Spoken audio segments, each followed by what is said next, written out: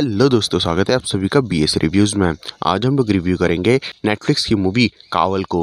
तो इस वीडियो को एंड तक ज़रूर देखना। तो चलिए शुरू करते हैं।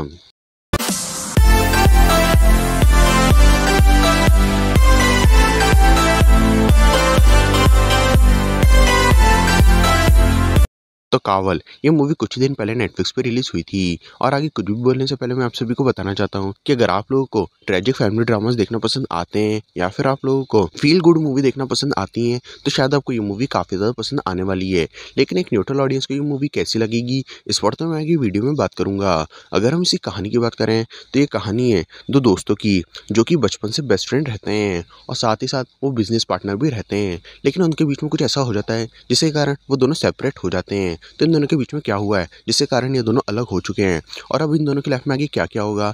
यही सब इस मूवी की कहानी है। अगर हम इसी स्क्रीन प्ले की बात करें पर्सनली मुझे इस मूवी का स्क्रीन प्ले काफ़ी पसंद आया है। क्योंकि जिस तरह से हमें स्टार्टिंग में दिखाया जाता है कि ये दोनों किस तरह के हैं, इन दोनों की दोस्ती किस तरह की है, और ये दोनों एक दूसरे से कितना ज़्यादा प्यार करते हैं, वो सब इतना ज़्यादा अच्छा है कि हमारे स्टार्टिंग से ही इस मूवी में कनेक्शन बन जाता है। और हम जानना चाहते हैं कि अब आगे क्या होने वाला है और कैसे होने वाला है। और फिर जिस तरह से मूवी आगे बढ़ती है, अपनी पूरी सिचुएशन को एक्सप्लोर करना स्टार्ट करती है और अपने एक इमोशनल साइड को एक्सप्लोर करती है, वो सब इतना ज़्यादा अच्छा है कि हम इस मूवी के साथ बहते चले जाते हैं। और जब इस मूवी के हाई पॉइंट्स आते हैं तो हम भी थोड़ा इमोशनल हो जाते हैं, जो कि काफ़ी अच्छी बात है।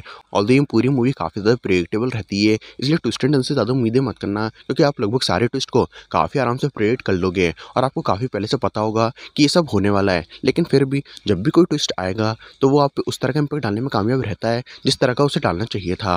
और जहाँ तक बात है कैरेक्टर डेवलपमेंट और कैरेक्टर्स के विषय डायनामिक्स की तो सभी कैरेक्टर्स को इतने ज़्यादा अच्छे से लिखा और डेवलप किया गया है कि हम दोनों ही मेन कैरेक्टर्स के साथ पूरी तरह से कनेक्ट हो जाते हैं और जिस तरह का वो फील कर रहे होते हैं और हमें फील कराना चाहते हैं, वो हम कर पाते हैं, जो कि काफ़ी अच्छी बात है। और जो कैरेक्टर्स के पीछे डायनामिक्स थे, वो भी मुझे काफ़ी ज़्यादा इंटरेस्टिंग लगे हैं।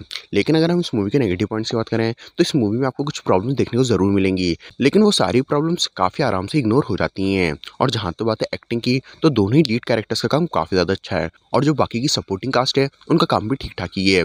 और अगर हम डायरेक्शन और एडिटिंग की बात करें तो डायरेक्शन तो पर्सनली मुझे काफ़ी पसंद आया लेकिन कहीं ना कहीं थोड़ा और बेहतर हो सकता था, क्योंकि टेक्निकली डायरेक्शन में थोड़ी मिस्टेक ज़रूर हैं।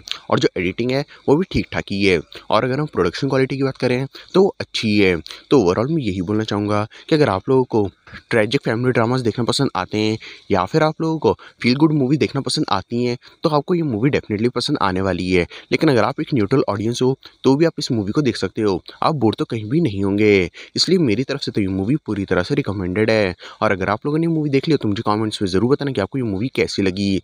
और अगर आपको वीडियो से रिलेटेड कोई सजेशन या शिकायत करनी हो तो भी आप हमें कमेंट्स में बता सकते हैं।